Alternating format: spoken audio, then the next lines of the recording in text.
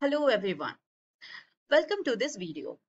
Uh, in today's video, uh, this is Tithi here and I'm going to tell you about some latest trends in CSIR NET Life Science exam.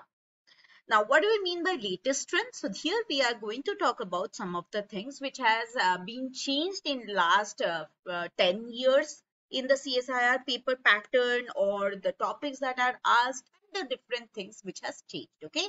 So all of that I'm going to cover in today's video right now. So stay till uh, the end with me. So the very first trend that has happened now is the exam format. Okay. So previously, as you all know, the exam format was paper based, pen and paper based, and then you had to mark the questions in the uh, in the in the in the uh, in the in the sheet, and uh, that is how the marking used to happen. Pen and paper mode was there. But since pandemic, that pen and paper mode has been changed into computer based test or CBT. So now CSIR net uh, exam is completely computer based. So where basically you have to go to a center where you will be given uh, systems like this in which uh, the paper will come, the questions will come and you have to mark the answer here itself okay. Now definitely uh, many students get confused how to take the paper and what will be the confusion whether you will be able to scroll between the questions or not. So all of that functions are there. All of those facilities will be there. You'll be able to scroll between the questions. If you mark flag some question and come back and revisit them that also you can do. And along with that uh, some of the centers I, I don't think all but yes some of the centers also give you a a chance to have a practice okay before the exam. So before the exam if you have chosen uh, the the the center okay so some of the centers have the facility where you can go and take a trial run okay just to get used to the system that is there. And there are uh, hundreds of exam centers which are uh, which which perform uh, where you can take the exam so you can uh, like when you when you are applying for the exam you can uh, choose the center depending on how close or uh, it is from your place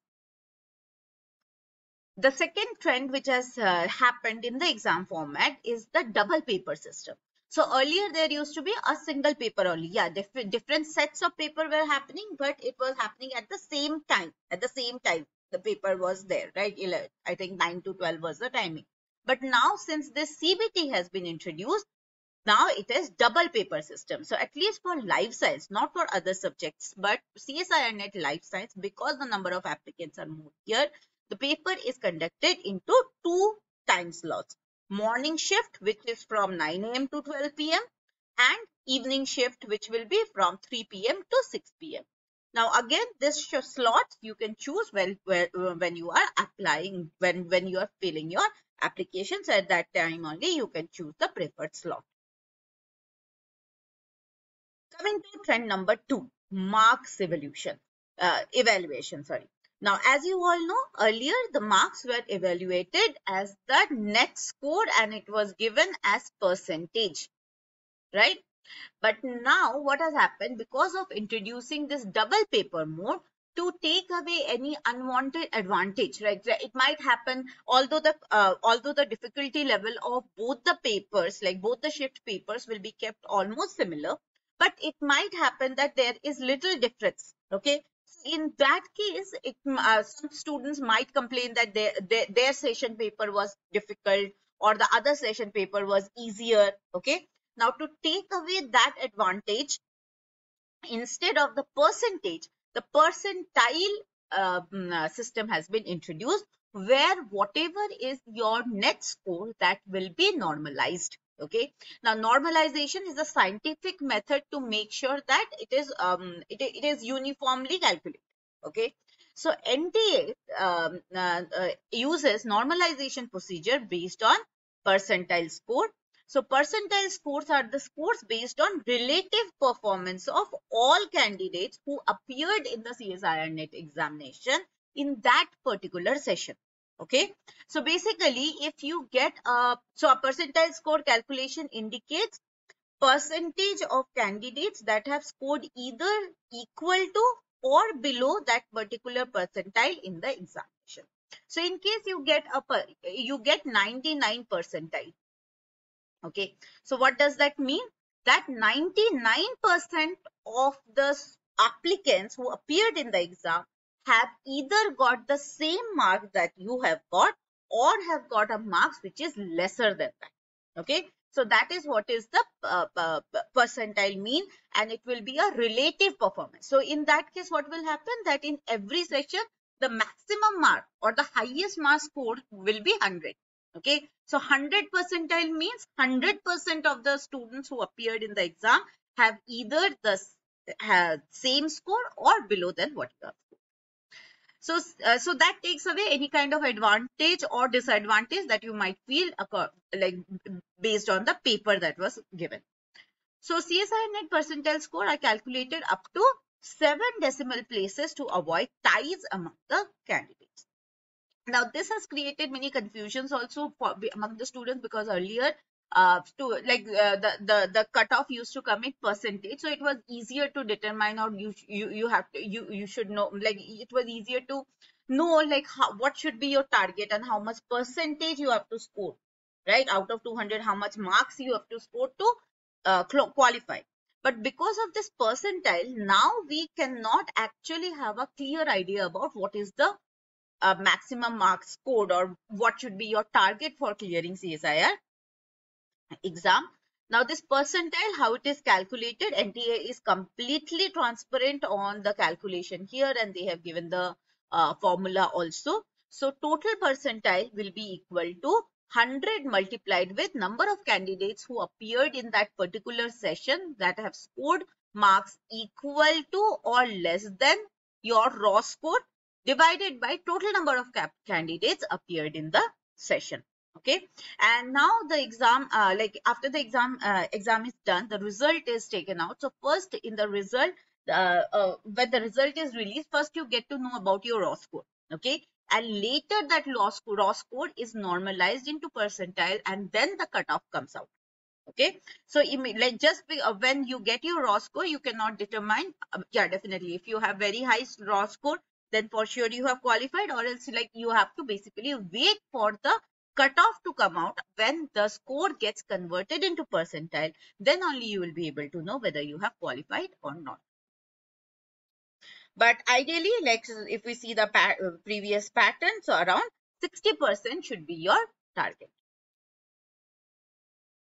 Uh, trend number three is the applicant trend okay that is the number of applicants which have who have appeared in the exam so uh, 2018 if we see like before pandemic around 65,000 to 70,000 applicants approximately appeared in the exam okay? Whereas if when we see 2023 like last five years okay five years back the number of applicants were this much but in five years in 2023 there were 80,000 applicants in the June exam and 75,000 applicants in the December exam. So definitely you can see that there has been an increase in the number of applicants over the years. Okay. And increase in the number of applicants means more competition. So that is what you have to be ready for. Like every session, competition is increasing. Coming to trend number four, cutoff. Okay, so as I was telling you about the percentile um, conversion, now coming to the cutoff. So in 2021, like if we see some, if we compare, I, I compared some back data. So in 2021, CSIR net cutoff for life science was this much percentile for GR. Okay, definitely for the general uh, category. Now, as I told you in the percentile marks also, that uh, in CSIR, the marks will be calculated to seven decimal points. Okay, so to make sure that none of the two candidates have got the exact same marks. 2022 CSIR net life science cutoff was this much. So you can see there is an increase. Okay, so 98.78 to 98.81 and in 2023 December cutoff increased to 99.21. All right. So as I so uh, this is all percentile. Okay, this is not percentage again. These are all so these marks which are given are in percentile okay the relative scoring okay so as you can see there has been an upward trend okay with every passing session cutoff is increasing so if the cutoff is, is increasing means exam pattern is like uh, the exam is becoming difficult and more competitive. Now coming to exam difficulty. Now exam difficulty, the like the net exam difficulty, if you see, CSIR maintains an exam difficulty of mild to moderate. Okay, but mostly it is in the moderate range. Okay, the questions which will come will be mostly in the moderate range. Definitely 10 to 15 percent of the questions will be uh, difficult and will be tricky. But then you have to understand, you have to develop an habit to know which one to skip and which one to do okay so all the questions in part c will have four marks it doesn't matter you are taking the difficult ones or the easy ones you are going to get four marks if you are correct. If you are going to get a negative marking of one if you are wrong. Okay? So you have to be very smart in picking the questions that you are answering. So mostly the exam level is moderate. But what has changed now is more in-depth subject knowledge is required. Now, in more in-depth subject knowledge means uh, nowadays uh, questions are coming from research papers also. So you have to have an habit of reading through some of the topics from the recent research which is going on, like in case of recombinant DNA technology or in case of CRISPR, which is creating such a buzz right now, CRISPR and how it is getting used in some of the treatment of genetic diseases. So this uh, knowledge you need to have. Along with that, you also have to develop a broader perspective where you can combine between the different topics. Okay, because more and more we are seeing questions are coming where combination of two or more concepts are required. Now, those concepts may belong to the same unit or it can be from different units as well. So, it is very important now to have a holistic approach towards the concepts that you are studying in CSIR paper and that will come when you are going in depth. No more superficial will help you. Coming to the unit-wise weightage, uh, um, weightage in the exam, so it has remained almost same.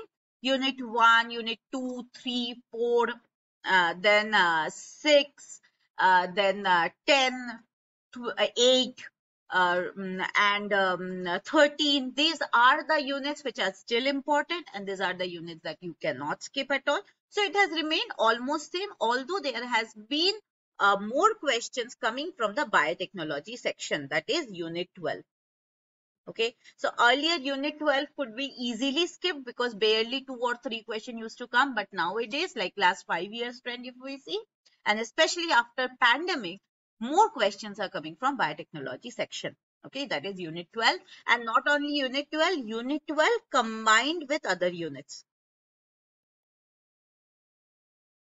Okay? So as i told you you have to develop a holistic approach okay like suppose in biotechnology you have created um, a particular uh, plant variety where you have used rna interference right now with RNA interference, you have stopped the expression of a particular uh, protein. But how, what is RNA interference? Where is, how is it working? What is dicer? What is RISC? So that concept will come from unit 3. Okay, so this kind of questions where it is combining the concepts and its application are becoming very common. Okay, now coming to trend number seven, which is post-exam qualification and uh, career paths. So earlier we know like CSIR exam, blindly you can go for academics. The people who will apply in CSIR exam will uh, either be interested in academics or research. Okay. But now this trend has changed and no longer it is limited to academics and research. So post exam qualification, what are the newer career paths that you can take? First is you can choose, uh, you can choose and make a career in science communication and science uh, policy. Okay. Now what exactly it is? So you can work with media outlets, NGOs or even government agencies to explain complex scientific concepts. Okay. You can also work in government organization and help the government in making uh, policies uh, regarding science. Okay, so this is a career path that you can take after finishing your PhD through CSIR net. Second career path that you can take is uh, science entrepreneurship and biotech startups. Uh, so you can leverage your research expertise to develop innovative products or services in the life science field. Another uh, career path that you can took uh, that you can take is in science editing and medical writing. Uh, so you have to ensure that scientific accuracy and clarity in research papers, grant proposals, or medical publications. Uh, now, this is a kind of job which is also work, uh, also offering work from home facility. Okay, so if you have uh, the constraints after finishing your uh, PhD, if you are joining science editing and medical writing, you also get an opportunity to work from home as well. So you don't have to break, uh, take a break from your career and you can continue. You can also join forensic science and science in law enforcement, where you can apply your knowledge of biology, especially and genetics, to solve crimes by analyzing DNA evidences, toxins, or investigating bioterrorism threats. And, and one of the most foremost and uh, you can say the most developing uh, uh, field right now is data science and bioinformatics. So data science is creating a buzz in all the fields, okay? And definitely life science is also not untouched by it. So data science and bioinformatics right now is rapidly growing field uh, which leverages computational tools to analyze biological data. So after finishing your research, you can definitely uh, do more uh, growth and you can join companies in uh, by working in this field of data science. So that's all from me uh, today, everyone. And I, I try to give you an idea about the latest trends, seven latest trends that are uh, uh, there in CSIR NET exam. I hope you find the video uh, uh, helpful and please like and subscribe to Biotecnika's YouTube channel and in case you uh, want us to make videos or shorts in any topic please let us know in the comment box. Thank you everyone. Have a great day.